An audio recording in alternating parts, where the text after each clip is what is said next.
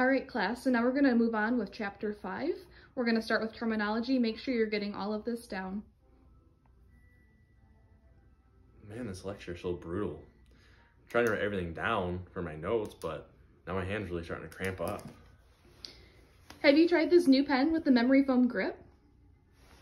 That looks great. Can I give it a try? Absolutely. All right, perfect.